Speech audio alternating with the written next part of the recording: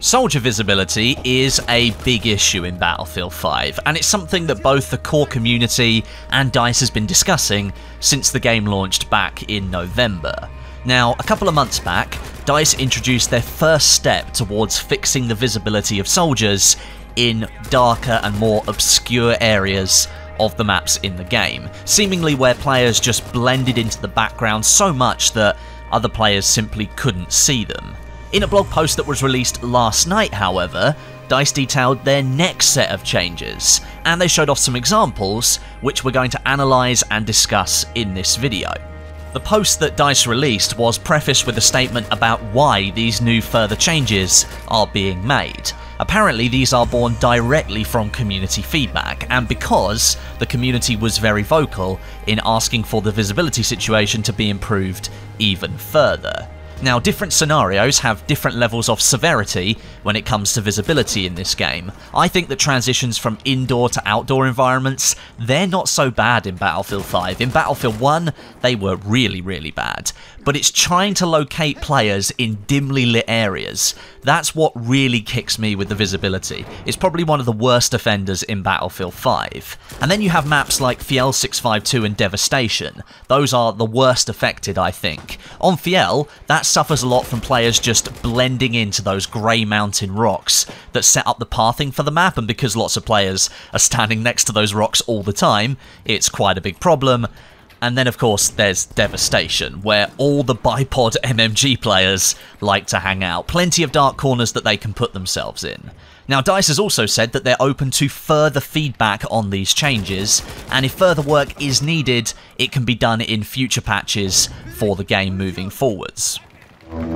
Okay then, let's look at the first example that DICE left in the post. This one is taken from inside the cathedral on the Devastation map, and as you can see from the label at the bottom, this is without the new character lighting system. Essentially, this is what is currently live in Battlefield 5, this is what the game currently looks like. The front enemy soldier, that can be easily distinguished from the background, but the second soldier, who's standing very close to the outside wall, that one is harder to spot. Now for sure this is a still image and it's not moving gameplay so you can still easily spot the second player, but if you add movement, you add sound, and the general need to be aware of what's going on around you, it'd be very easy to miss that second player during live gameplay. And now this is the updated character lighting that's going to be going live in a patch very, very soon. And on the face of it, you do have to say, things are much clearer on those soldiers now. The window to the right hand side of the enemy players and the stained glass window right above them, the light that's coming through those is now more closely represented on the players.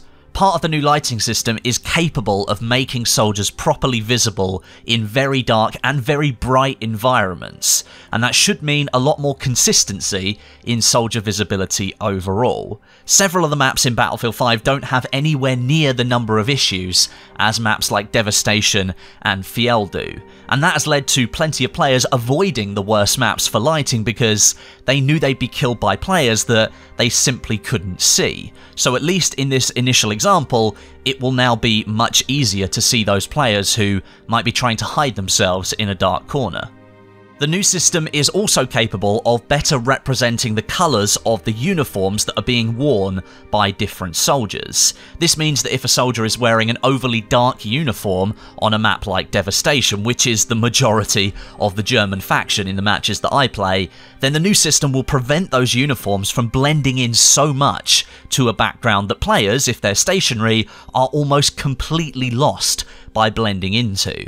The same applies to bright environments as well, like on the Fjell map, where soldiers might be wearing light grey and white uniforms. They're going to blend in to that mountainous background. However, DICE has said that this new system isn't nullifying the use of correct camos in the biome that you're playing in, so green uniforms for maps like Twisted Steel, they're still the way to go. Yellow and brown coloured options are the best on maps like Hamada and Aerodrome as an example. What the new system does is it pulls up the visibility on the darker options overall, which according to DICE were the worst offenders. Dark camos were certainly giving players an unintended advantage in certain areas, and DICE wants to make sure that that situation no longer occurs. Right now, of course, we don't have any gameplay of these changes, which makes it very hard to have a proper concrete opinion on the changes that DICE are making. All we can really do is wait for the development team to release the change in an upcoming patch, and then we can play some rounds to see what the difference really is like. However, that hasn't stopped the core community from having their say already, and when you look on social media, the forums and Reddit, opinion is already split as to whether this is a good move or not for Battlefield 5.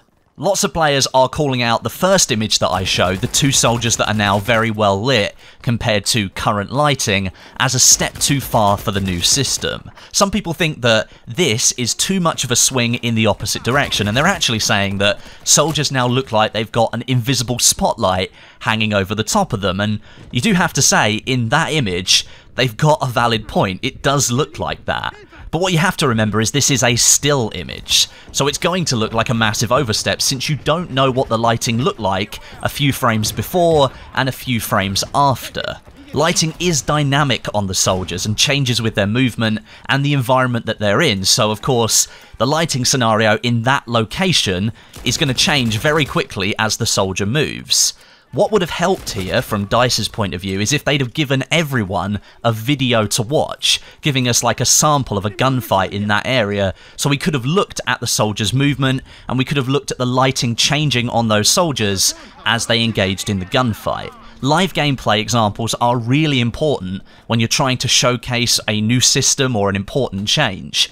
And what we've got here is players and gamers reacting to a still image, which of course isn't representative of live gameplay. So if there's a video that we could see, Dice, if you're watching this video now, if you've got a video of the new lighting system, I'd encourage you to post it so that we can actually watch that and see it in action. Other players, however, are saying that they really like the changes and they're really happy that DICE has boosted the visibility overall. Lots of players on Reddit specifically are saying that they think this is going to have a positive impact on the gameplay, especially on the worst offending maps like Fjell and devastation. And to be honest, I sit with this group of people. At this early stage, I'm liking the look of the changes, and I think engaging, enjoyable gameplay should be the number one priority for DICE. There's nothing worse in my mind than being killed by a player that you couldn't see, and not because they had the one up on you and they had a good position and maybe you just weren't paying attention, but because they're exploiting the poor lighting in that location to their advantage, just sitting in a corner, not moving, so they can't be spotted. That's really frustrating in this game, so anything that DICE does to try and improve that situation so that we can see those players that are trying to do that, that's a good thing in my book. But one thing that I've actually seen from a lot of players as a piece of feedback, whether they like the changes or whether they don't, would be the ability to create camo and uniform presets for the different map biomes in the game. Several of the uniforms and the camos that you can use already come with several variations that can be applied depending on the biome that you're about to start battle in. But without presets for these, that could quickly be switched when waiting for the next round to start, you're forced to dive into submenu after submenu, clicking through all the options to build a suitable outfit for that map. If presets could be added to the character customization menu that allowed us to build presets for different map biomes or just build different presets in general, we'd save a huge amount of time between rounds building our soldiers for the next match, and we'd likely see plenty of soldiers on the next map then playing in camos that make sense for that environment. Now, of course, the choice should always remain with the players, so if you wanted to run around in the greenest of all green camos that you could make on the Fjell map, or perhaps you decided to play as the new elite soldier Ernst on Arras, where you stick out like a sore thumb in your white and blue jacket, then of course you should still be able to do that, but having presets within the character menus would be an awesome step forwards now that we're seeing some lighting fixes make their way into the game. And this doesn't seem to be a suggestion that's gone unnoticed, and it's not something that developers weren't aware of already, that having presets for different map biomes would be a good thing. I saw a response from Braddock in the Reddit thread saying that the development team are exploring different ways that this could become possible, but it's not something that's imminent. It's not something that's coming right now. The visibility update, that's coming very, very soon, but those presets would be a really good addition, I think. So, there you go. That's the upcoming visibility update for Battlefield 5. I personally think it looks like a good step in the right direction, but of course you might have a different opinion, so I'd encourage you to leave that down below in the comments section. I've also linked the forum post down below if you want to leave your thoughts in a place where DICE and EA can directly take that feedback and give it to the development team.